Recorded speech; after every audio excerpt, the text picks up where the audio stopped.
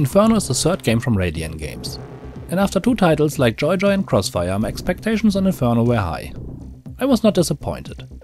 Inferno delivers, and it delivers in several areas.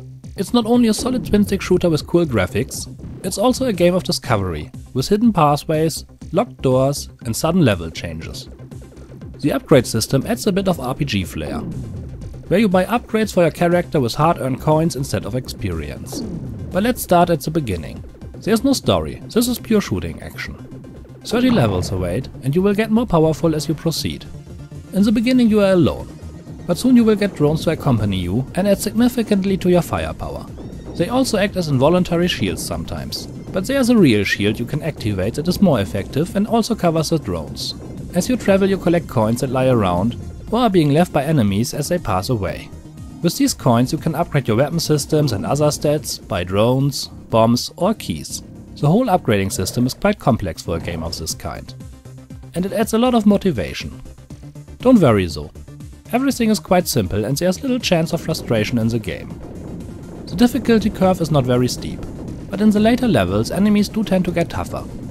And as you add abilities, so do the enemies.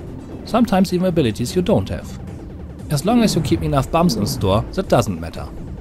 If you lose control, a simple hit on the left trigger will clear the screen and give you air to breathe. Careful though, bombs are rare and expensive in this shop. The only point in the game where bombs are not very helpful are the bosses. They are kind of gigantic versions of known enemies, but with their own weapon system. Quite tough and not that easy to destroy. The whole game took me a little under 2 hours to finish, but after finishing there's a new game plus mode that allows you to start with a full weapon setup. Or you can simply load your old save game and start a second go, with all your coins, drones and stuff still there. The plus mode is a little different than the original mode though. You'll see when you get there. I played the game alone, but I can only imagine how awesome it must be to play the title with up to 3 friends in local co-op. Can I recommend the title? Absolutely. The first two Radian Games titles have a user rating of over 4 stars, which is quite impressive with a couple of hundred votes each, and Inferno certainly won't break with the tradition. It's actually my favorite game of the three. Adding to that the low price tag of just $1 or 80 Microsoft points, and 5 out of 5 stars for it seems almost low. So go and have a look at it, pretty sure you will love it as much as I do.